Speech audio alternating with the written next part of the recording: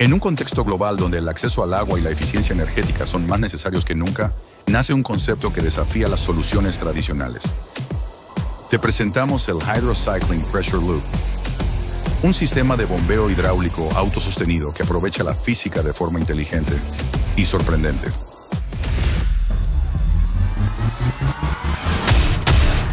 Quédate hasta el final del vídeo para ver cómo fabricamos esta bomba de agua que funciona sin electricidad.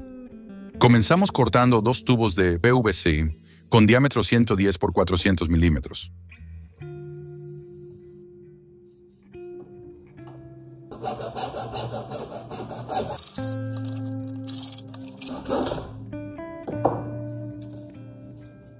Debemos calentar los extremos con un soplete para poder expandirlos.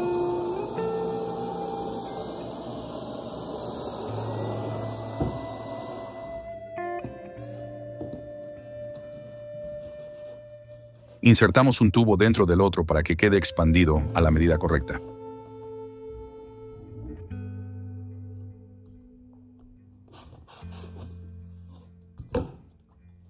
De esta forma podremos poner estas tapas en los extremos. Aquí tenemos una T de PVC de diámetro 32 milímetros y queremos acoplar este racor de una pulgada y un cuarto. Como no tiene rosca, vamos a calentar el racor con el soplete.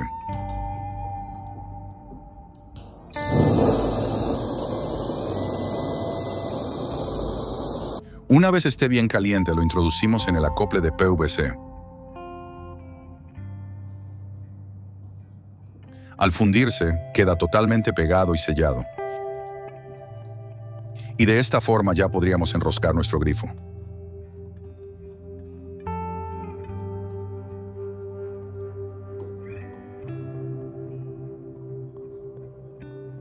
Continuamos calentando y expandiendo un extremo de cada uno de estos tubos de PVC de diámetro 32 por 210 milímetros.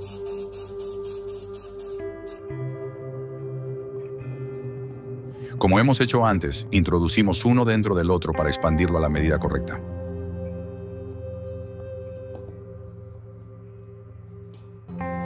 Cuando el tubo se enfría, comprobamos que este tapón entra perfectamente.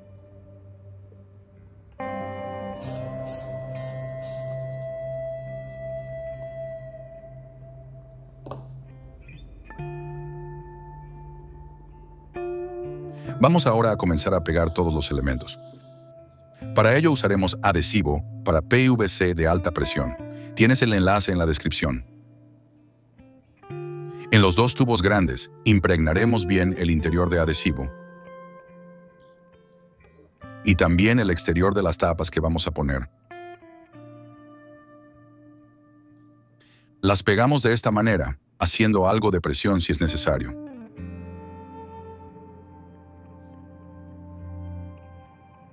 Vamos con la segunda tapa.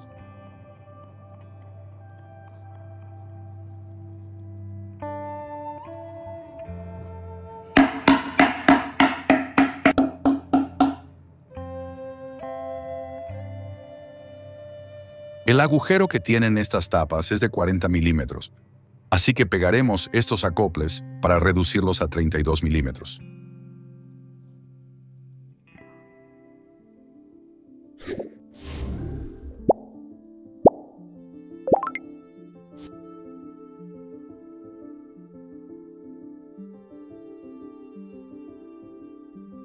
Ya están listos.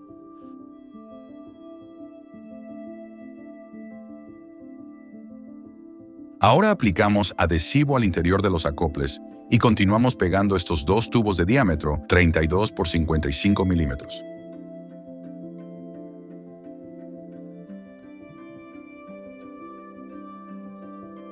Quedarán de esta manera.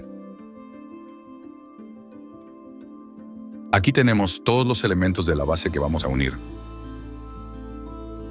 Comenzamos con un tubo de diámetro 30 por 55 milímetros y este codo de diámetro 32 a 90 grados. Seguimos con esta T de 32 milímetros.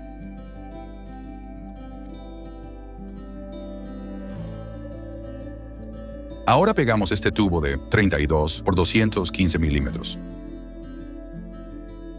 Y pegamos también esta T y este tubo de 32 por 105 milímetros.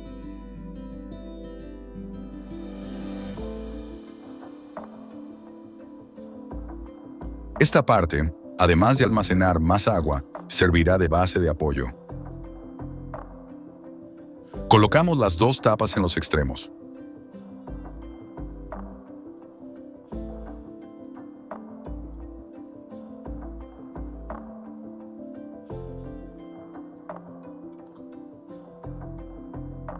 Unimos estos tubos con este acoplamiento en forma de T.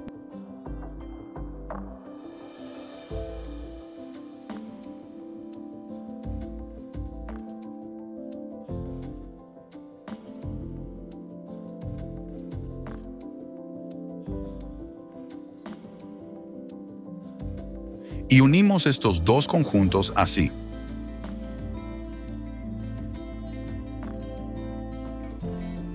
Procederemos ahora a colocar los dos tubos más gruesos que servirán como depósitos principales.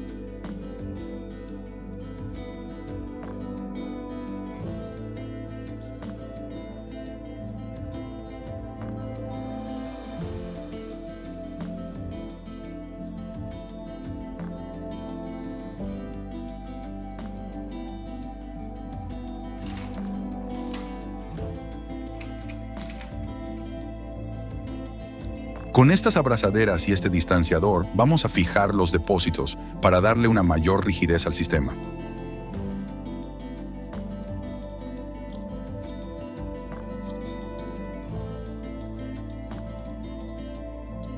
Los depósitos deben quedar completamente verticales para potenciar el impulso recurrente y la autorregulación de presión.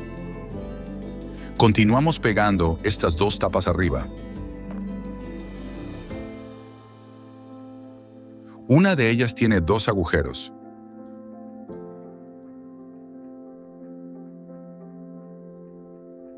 Y la otra tiene solo uno.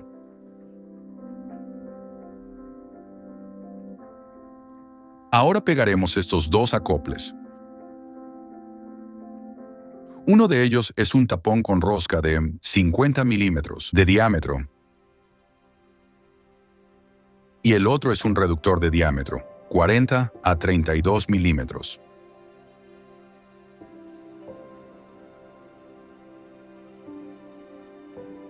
Ahora pegamos este conjunto, que consta de un codo en 45 grados, un tubo de 32 por 55 milímetros y un codo de 90 grados. Y aquí pegaremos este codo de 90 grados, junto a un tubo de diámetro, 32 por 70 milímetros,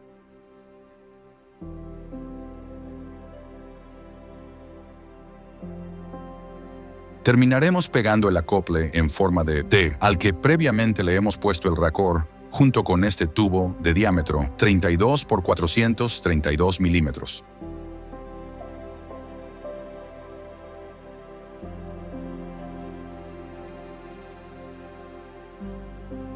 Ahora deberemos enroscar el grifo,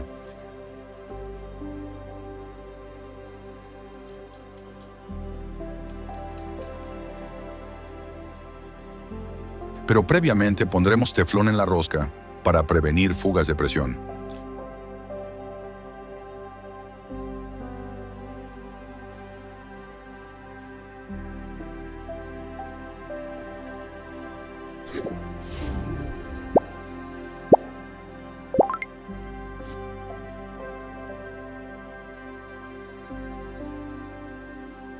Desenroscamos este tapón.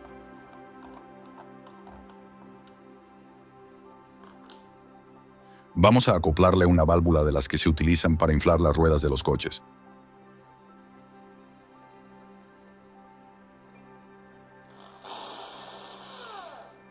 Taladraremos el tapón justo en el centro.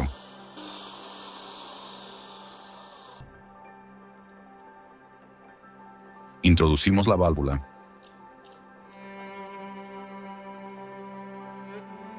Y la aseguramos con sus tuercas.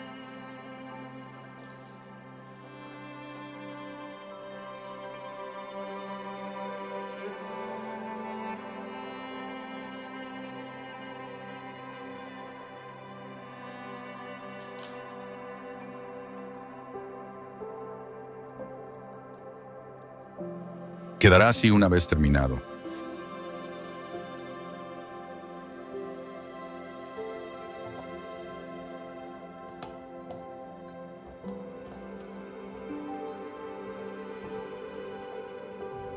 Este va a ser nuestro tubo de succión de agua. Debemos incorporarle una válvula anti-retorno. Esta bola es accionada por un resorte. En el sentido de circulación del agua dentro de esta válvula, la bola cede y permite el paso de agua. En cambio, en el sentido contrario, la bola taponará el paso de agua. Esta flecha indica el sentido en el que circulará el agua.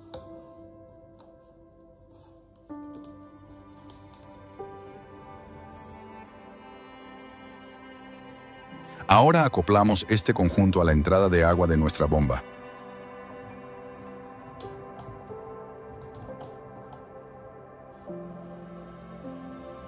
Y ya tenemos el Hydrocycling Pressure Loop, o HCPL-1, listo para funcionar.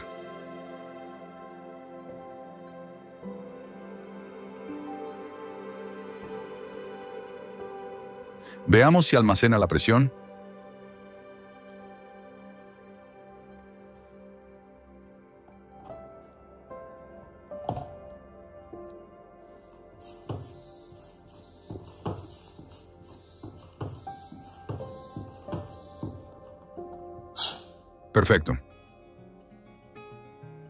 Pongámoslo a prueba en el exterior.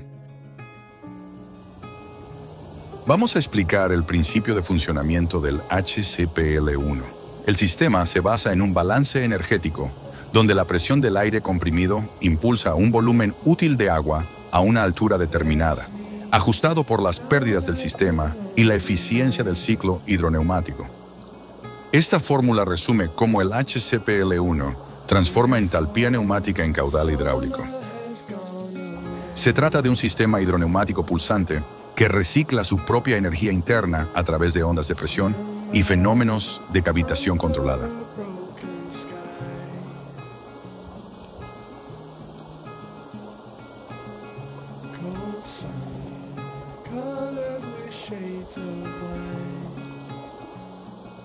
El ciclo comienza con un proceso sencillo. El circuito cerrado se rellena con agua. A diferencia de los sistemas tradicionales, aquí no hay motores eléctricos ni bombas mecánicas, solo presión hidroneumática controlada.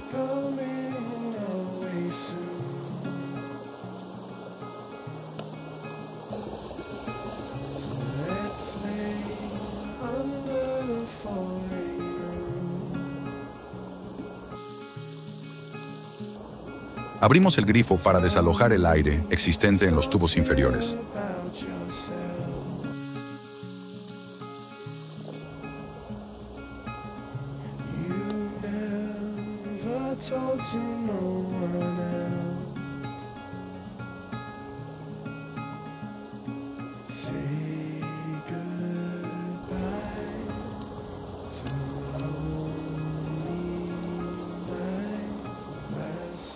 Cerramos el tapón.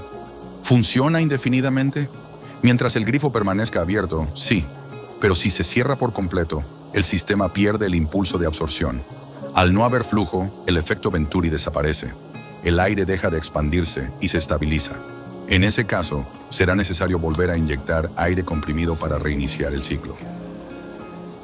Conectamos una bomba de aire manual y vemos que al bombear sale agua. Bien, cerramos el grifo y presurizamos el sistema. Esta presión inicial actuará como un pistón invisible sobre la columna líquida. El aire comprimido, según la ley de Boyle-Marriott, transmite su energía al líquido al expandirse. P por V igual a constante. Al abrir el grifo, el agua presurizada comienza a salir, generando un flujo acelerado. Pero lo que realmente activa el circuito es la constricción diseñada en la salida ocasionada por el grifo. Según el efecto Venturi, al estrechar la sección del conducto la velocidad del fluido aumenta y la presión disminuye. Esta zona de baja presión genera un efecto de succión en la entrada trasera. El sistema comienza a absorber agua desde un río o presa sin ayuda mecánica externa. Este mismo principio se emplea en inyectores industriales, bombas eyectoras e incluso en carburadores. La entalpía del aire comprimido es otra de las claves. Parte de la energía interna del gas se transforma en trabajo útil al expandirse. Esta transformación ocurre a presión casi constante y genera un movimiento de fluido sostenido, sin combustible ni electricidad. Aunque el sistema HCPL1 es un desarrollo propietario, sus fundamentos se apoyan en patentes reales y principios probados. El sistema HCPL1 integra tecnologías previamente patentadas en un solo circuito cerrado, optimizado por retrocompresión, entalpía controlada y un diseño hidrodinámico de alta eficiencia. Si te ha gustado este vídeo, recuerda dar un pulgar arriba y suscribirte. También puedes hacerte miembro para apoyar nuestro canal. Recuerda que nuestros prototipos no están a la venta. No te dejes engañar por estafadores.